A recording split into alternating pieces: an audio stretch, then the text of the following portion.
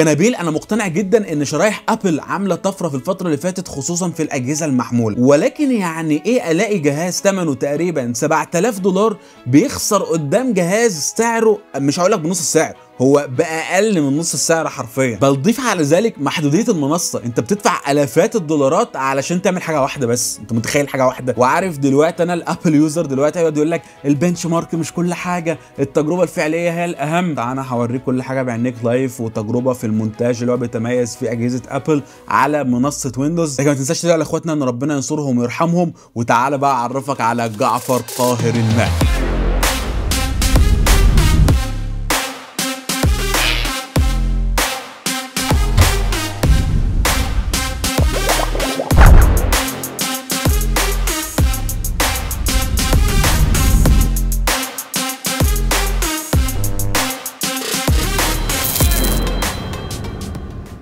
خلونا نبتدي بمواصفات جعفر. مبدئيا جعفر مبني على معالج ال i7 من Intel ال 14700K وأنا ه skip وهسيب أي كلام تقني ممكن يتقال في هذا الأمر. أهو مع السلامة. ولكن أنا عايز أعرفك إن المعالج ده حر نار شتاء مشع منفجر صيفا. فحرفيا أنت لازم تكون حريص في عملية اختيار المبرد بل أنت لو مش مركب ال contact frame اللي باين قدامك ده فتأكد إن أنت على اجعص مبرد هتركبه هتحصل لك مشاكل throttling والمعالج هتلاقيه بيموت منك وهتلاقي الجهاز بي freeze وبيفصل وكل حاجة وحشة هتحصل له. وأنا عن نفسي استخدمت المبرد بتاعي الشخصي وهو ال Arctic Liquid Freezer 2 ال 280 مللي. ومع set التبريد ده أنا قادر أمسك بال 295 واط وال 300 واط لفترات طويلة بال 10 دقائق والربع ساعة على اختبار ال Cinebench كذلك أنا ماسك سرعات محترمة جدا جدا زي مثلا في ال single core 6 جيجا هرتز وبمسك فوق ال 5 ونص و 5 و7 من 10 جيجا هرتز كمان على ال multi core وهشوف دلوقتي أرقام جامدة جدا. وبصراحة الأرقام دي وصل لها بضغطه زرار واحدة عن طريق ال AI optimization بتاع ASUS الموجود في board ال Z 790 وال Z 690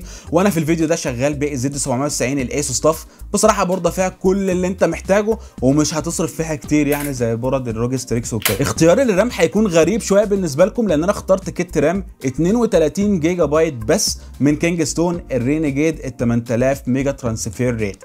وال kit دي محترمة جدا جدا وادائها فوق الممتاز. أنا قدرت إن أنا أمسك سرعات كبيرة على منصة AMD بال kit دي زي 7800 mega transfer مستقر 100% لكن في Intel اللي هي أصلا موجهة ليها السرعات العالية ما حصلش كده الصراحة. يعني سواء على board ه ال Z 790 أو 690 ما قدرتش امسك سرعات أكتر من 7200 بشكل مستقر. وعلى الأغلب علشان تمسك السرعات اللي أعلى من كده على board Intel أنت محتاج board فيها بنكين RAM بس مش بنك مش أربع بنوك RAM زي دي. وصدقني صديقي العزيز أنا هبهرك في حكاية استهلاك ال RAM ات أما بالنسبة لكارت الشاشة فأنا بستخدم ال ASUS ROG Strix ال 40 80 سوبر ومش هنفضل بقى نص ساعة نتكلم عن مدى جمال واناقه ورشاقه ولباقة الكارت. يعني كفاية جو التحرش بالكروت ده. الكارت جامد جدا حرارته ممتازة فوق الوصف وتصميمه زي ال 40 90 اتكلمنا فيه كتير قبل كده. شكرا. بالنسبة لوحدة التخزين فالموضوع برده غريب شوية بس أنا شغال بوحدة تخزين أساسية ال Samsung Evo 970 Plus 512 جيجا بايت ودي Gen 3 وبصراحة ما عنديش أي مشكلة معاه في ال Windows مع فاهم أنت الدنيا تمام peace ومحمل على البرامج وكل حاجة. أما بالنسبة بقى لوحدة التخزين اللي بيكون عليها ال footage أو الشغل بتاعي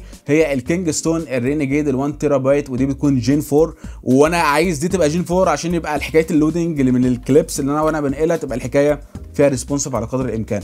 لكن ال Windows مش محتاج كل السرعات دي خلاص يعني. هو بالنسبة له ال Gen 3 زي الفل. أما بالنسبة لمزود الطاقة فأنا بستخدم ال Cooler Master ال MWE V2 Gold ال 1050 واط. وجاي معاه كيبل ال power ال PCIe ال Gen 5 فأنا مركبه في الكارت من غير تحويلات بقى ولا الجو ده والدنيا عندي peace جدا. أما بالنسبة لل case فهي ال ASUS TUF ال GT501 ودي ال case ة الكبيرة اللي موجودة معايا حاليا. بالرغم إن أنا ما بحبش الوش اللي هو مقفول شوية من قدام دون إلا إن هي دي الوحيدة اللي قادرة أشيل الكولر. لأن الكولر على قد ما هو 280 مللي إلا إنه يعني سميك. يعني اللي هو فاهم أنت أخد مساحة كبيرة فبيخبط في البوردة في كل الكيسات أنا جربتها عليه زي الاتش 500 والاتش اف 500 فاهم handle ها كويس وخلاص يعني ده المهم بالنسبة لنا. يلا بينا my friend نبدأ بقى الاختبارات. خليني بس أعرض لك نتيجة benchmark ال Cinebench 2024 آه عندك مثلا ال multi core performance بتاعت ال CPU ال Mac Studio ال M2 Ultra وال config دي اللي كانت ب 7000 دولار محققة 1929 هذا الجهاز محقق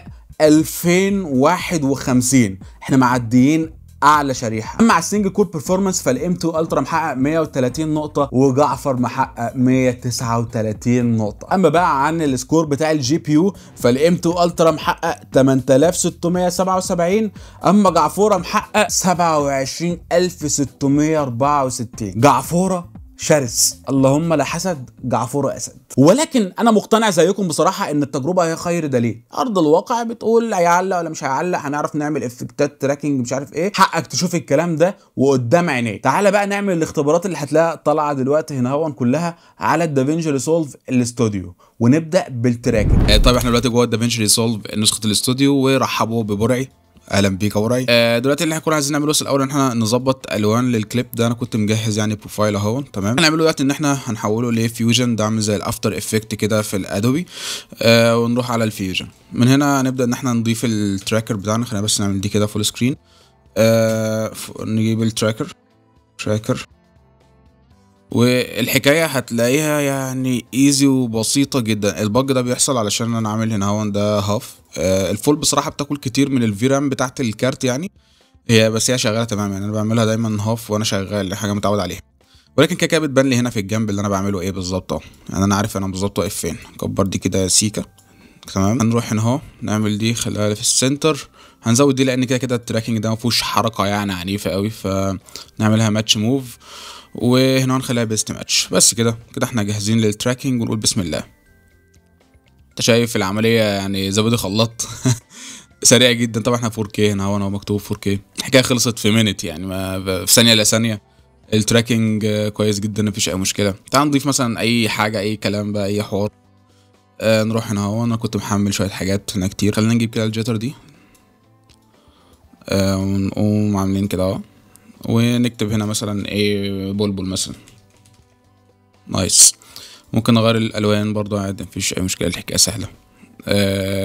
يلا بينا. نعمل sizing حكاية يعني فاهم أنت؟ easy بالبرتقال يعني.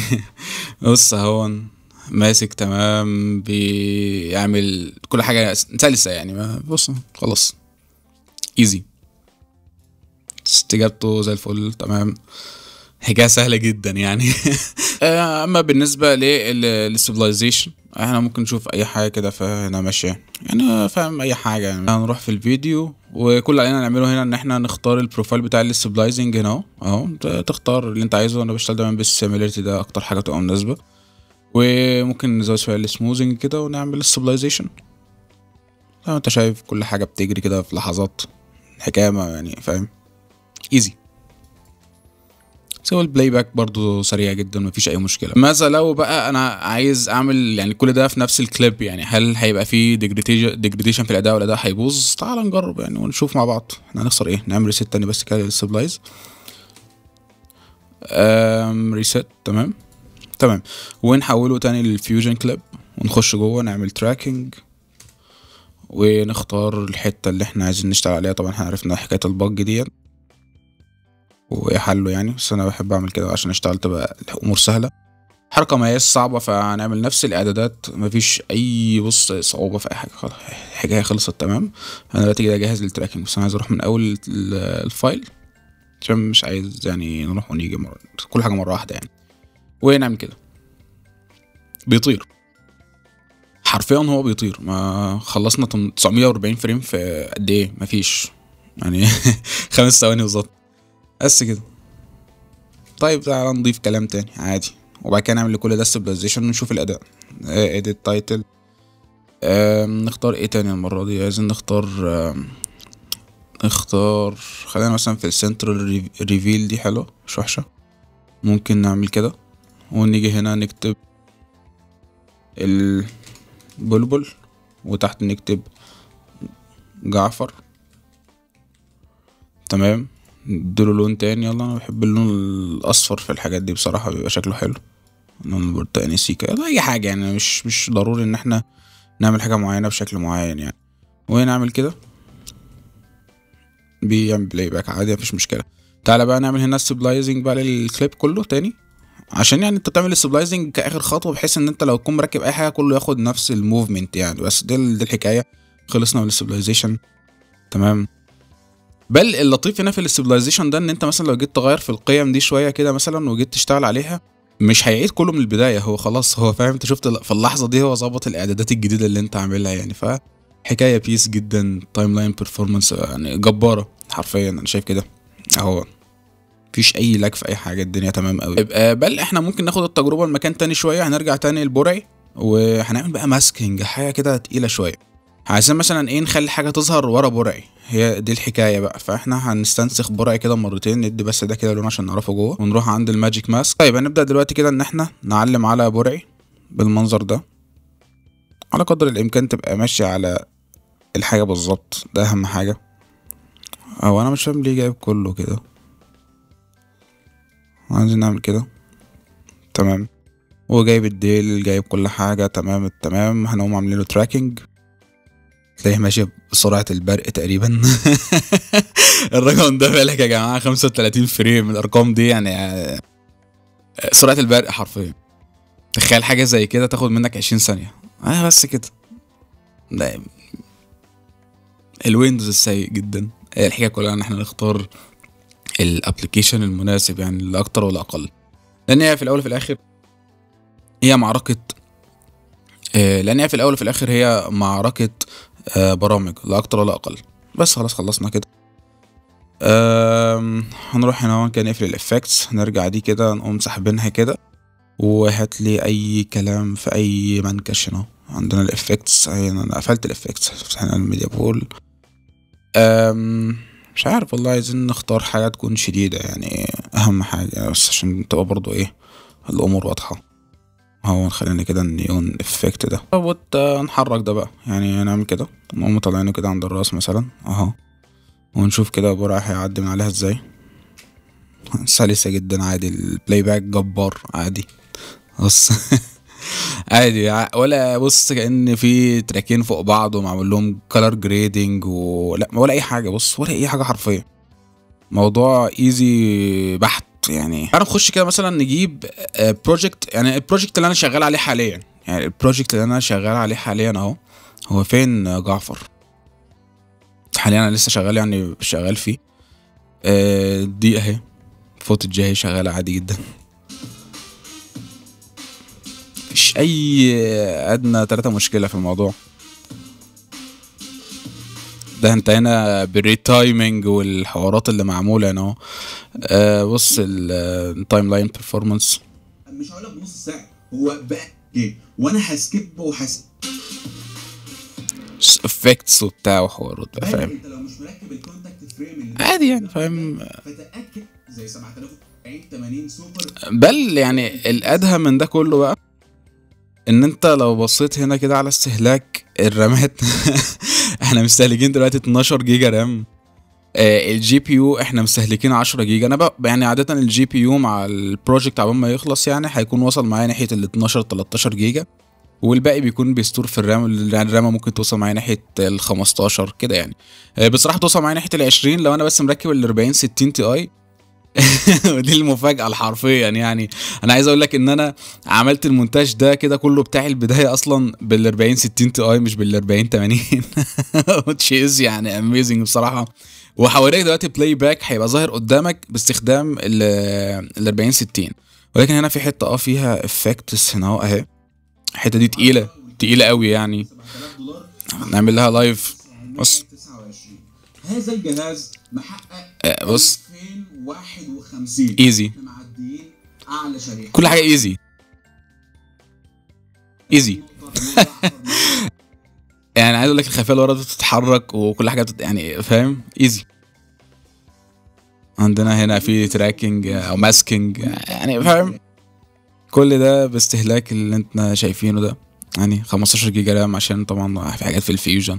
أنا أقول لك يعني هو آخره معايا بصراحة بيوصل ناحية ال 20 وهيبدأ يفضي ويرجع و... بس هو يعني عموما استهلاك ال RAM فوق الجبار بمراحل لأن هو الدافينشي أصلا بيميل إن هو يستخدم ال GPU memory أكتر حاجة يعني. تعال نرجع بقى للفيديو. بص my friend إحنا كل ده بنتكلم في جانب واحد بس من جوانب الإبداع والإنتاجية وألا وهو المونتاج أول بقى ما هتخط برجلك بره هذه الدايرة وتروح مثلا لل 3D rendering أنا عايزك تدور بنفسك وتشوف كارت زي ال 4090 بيتغلب إزاي على أسرع جهاز من أبل بأربع أضعافه.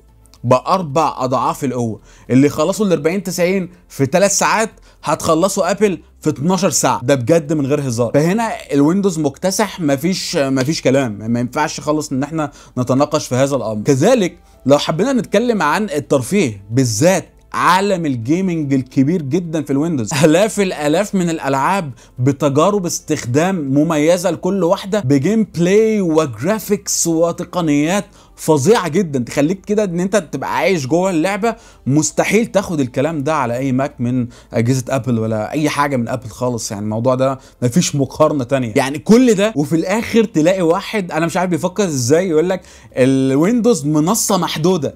يا أخي أحلى مسا عليك. لكن أنا سامعك my friend التفاحاوي وأنت بتقول طب ومشاكل ال hardware بتاعت ال Windows والشاشة الزرقاء والرامات وال my friend خلينا متفقين كده إيه على سياسه عامة. أنت خدت قرار إن أنت تجمع جهاز فأنت أكيد تبقى عارف وملم بالتوافقية بتاعت القطع والقطع بتشتغل إزاي علشان تعرف تاخد قرارات سليمة. مش عارف إلجأ للي عارف يساعدك. easy لكن بقى تعالى كلمني عن مشاكل اللي هي الأعطال بقى اللي بتحصل دي بشكل إيه قضاء وقدر. زي مثلا واللي هي موجودة في ابل وموجودة في أي مكان في الدنيا اللي هو مثلا تقول إيه ال SSD مثلا باظ. آه ال Windows هتعمل إيه؟ هتشيل ال SSD وتحط SSD easy روح بقى الابل بقى هتروح لحد يفك ويسخن ويحط لك ال NAND flash وفي الآخر تفتح الجهاز يقول لك والله ال serial ده مش بتاعي. ما اعرفوش يعني. أحلى مسا عليك تاني. يعني بجد والله. بل خلينا نتكلم مثلا عن مشكلة أو هي نوع من أنواع يعني مش عايز أقول حاجة مش حلوة بس قشطة يعني.